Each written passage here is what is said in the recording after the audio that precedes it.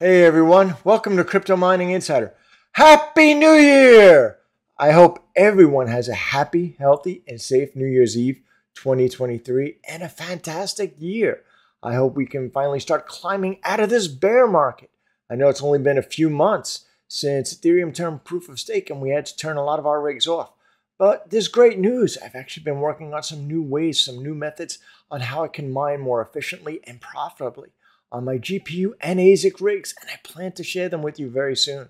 I have some new features in NiceHash I've been able to unlock, and I have a lot of great new content lined up. And kicking, speaking of new content, today I want to introduce a new update. Lokotech is actually looking at creating a USB Scrypt ASIC miner. So, but before I get into that, if you haven't already subscribed, don't forget to smash that subscribe button. I really put a lot of hard work and heart effort into my videos to bring you some unique content. And as a miner, I hope it helps you and helps you get your rigs back on too. And you subscribing is what really motivates me. So together, let's make 2023 epic. Before I begin discussing this new USB miner that Lokotech is looking to create, let me give you a little bit of a background on Lokotech. Lokotech is based in Norway. They were actually one of the speakers at the Litecoin Summit of 2022. They were a speaker and a sponsor there.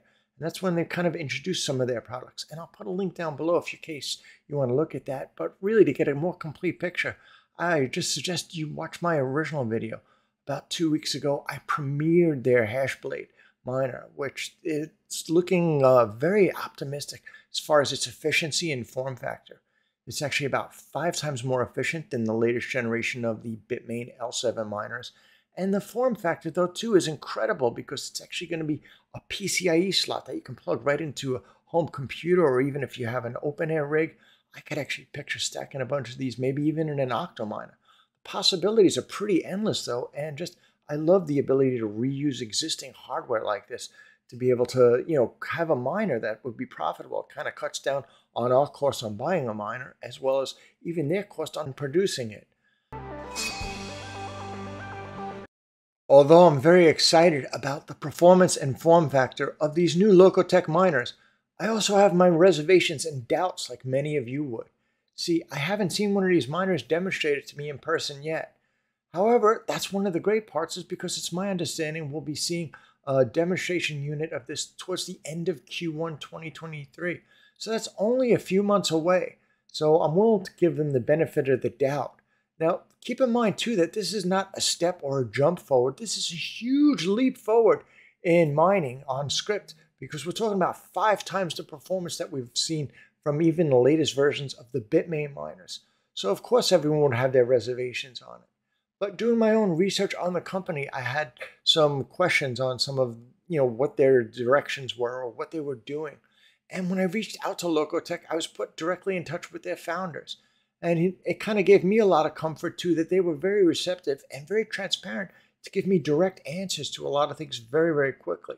So I'm willing to wait it out and you know hope that we'll be seeing this mine at the end of Q1 uh, 2023. And the best part is, is I was told I'll be actually getting one of their very first miners that they produced, and I'll be able to demonstrate it right here live. In addition to the Hashblade, which will be Lokotech's premier Scrypt miner. They're looking to create a USB miner, and this will be the Lokotech USB Scrypt ASIC. And the informal or the draft specifications that they told me that they would be looking at or targeting would be somewhere around 78 megahash at about six and a half to seven watts. Again, these specifications are only draft, so they're still kind of examining it. It's not confirmed they're going to be making it yet. And this is going to be using the same technology that they're using on their Hashblade. However, being a smaller form factor and using a small number of ASICs, it's going to have a lower cost. So it's going to be a lower barrier of entry. What is the cost? Unfortunately, I don't know the details of the cost yet. I was just told that too. They like to try to keep their products at about a year ROI or less. But again, I don't know what price point this will be introduced at, if it's even introduced. Scrypt mining on USB ASICs is not new. And it's actually kind of cool because if I look to this, some other companies have done it in the past. FutureBit, although these miners are very old and outdated, they're not profitable anymore. Here's one, the Moonlander 2. It just kind of paints a visual, maybe what one of these Lokotech sticks would look like. I really have no idea. I don't have any visual information about it. But this miner, this is going back about 2017, so it's about five, six years ago. This is already end of life, but this little miner was 5 megahash with under 10 watts of power. So, wow, that's a big difference. Look, I guess we've come a long way from 5 megahash at 10 watts power. If we could get something around 78 megahash and 7 watts of power, that would be pretty attractive to me. And other people have used these too, and I even see them too. If I look at eBay, they put them in, they stack them together in USB hubs, and they're pretty cool. Ironically, too, my wife's seen me looking at these, and she knows I'm into getting different mining hardware. So she actually bought me one of these little Moonlander 2s.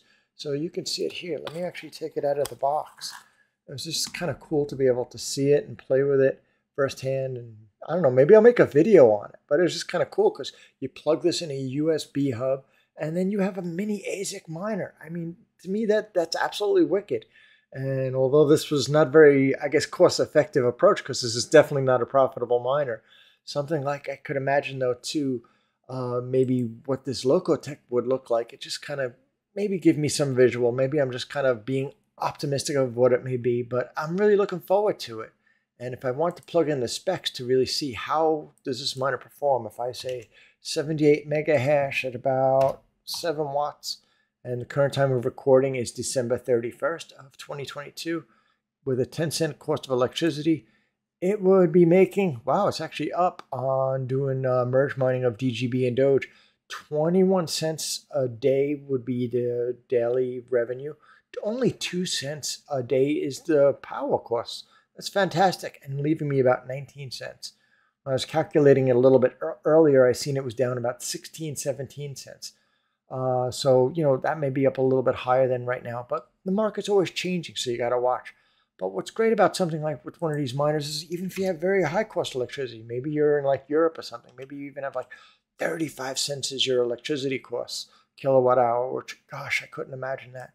But a miner like this will still only use about 6 cents a day in electricity, still leaving you at about 14, 15 cents a day profit.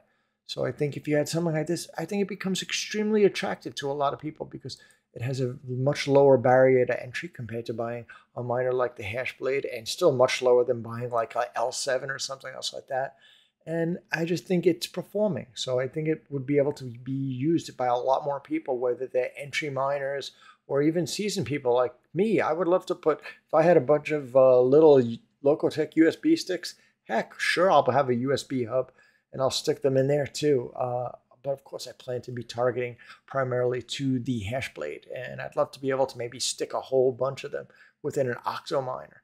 So I hope that'll be a future video, maybe by uh, before the end of next year.